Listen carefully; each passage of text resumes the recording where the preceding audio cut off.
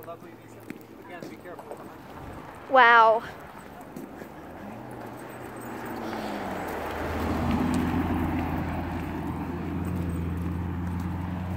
Look at that. Look how tall that is comparing to my dad. And in real life, my dad is very tall. So is Bruno, which is why this is massive. And wait, yes, are you to say something? Oh, that's a large driveway.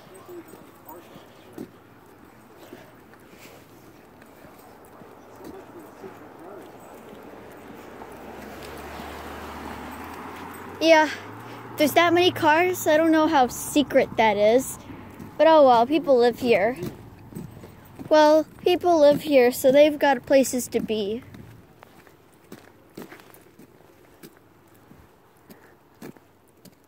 That one lucky person. Actually, now that I think of it, I doubt that that whole um, tennis court, I think, yeah, that's a tennis court. I doubt that that tennis court belongs to somebody, but if they did, wow, lucky.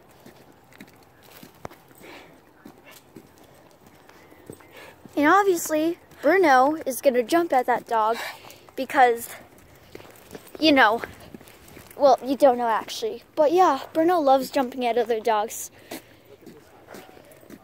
Bruno just wants to play, but then, you know, playing for him means play fighting and jumping around.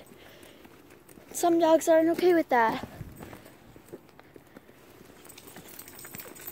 If you have a dog and you ever meet the Bruno boy, aka our lovely Bruno over here, then uh, if your dog doesn't like playing, you may not want to get him near.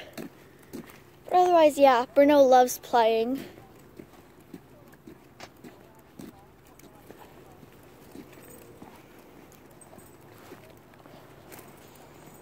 Be careful.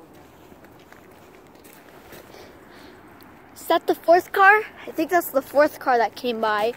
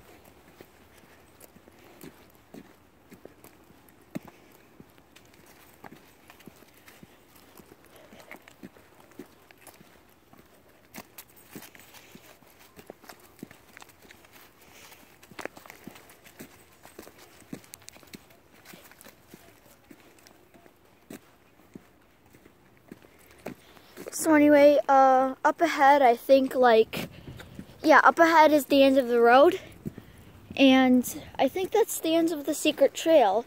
Well, not really a secret, but yeah, a lot of nice houses here. Anyway, as you can see, the end of the road is near, and I will see you all next time.